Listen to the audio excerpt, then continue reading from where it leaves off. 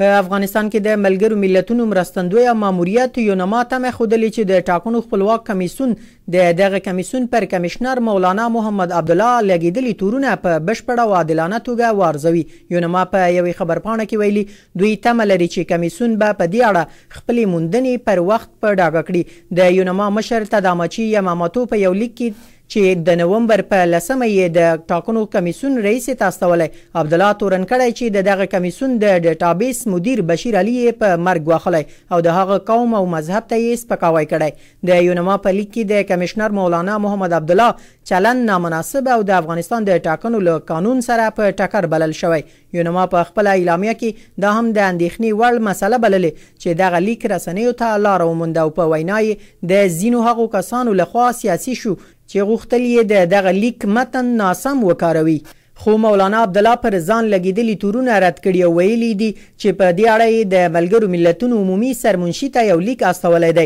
نوموړي په یوې خبري کنفرانس کې وویل، د هېڅ چا قوم ته یې سپکاوی نه دی کړی، نه یې ځان ته دا حق ورکړی چې څوک په مرګ وګواښي. عبدالله ټینګار کړی چې د دغې موضوع د قانوني څېړنې غوښتونکی دی. د انتخاباتو خپلواک کمېسیون دمخه تر دې ویلي و، په دې اړه به څېړنې وکړي او د ملګرو ملتونو د ځانګړي استازي لیک به ځواب کړي، خو تر اوسه څرګنده نه ده چې کمېسیون پر خپل یو کمېشنر د یونما د مشر لخوا د لګېدلو جدي تورونو په اړه کومه پرېکړه یا څېړنه وکړه او که نه.